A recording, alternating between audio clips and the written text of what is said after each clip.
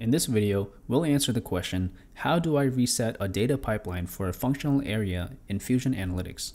If you've changed your Fusion application source and want to perform a full load of your data from the new source, or you want to fix data inconsistencies, you might want to reset your data pipeline.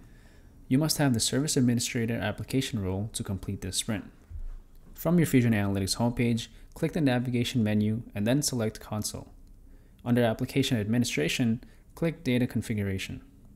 Under Applications, select the application that has the functional area that you want to reset the data for. In this example, we'll select Enterprise Resource Planning.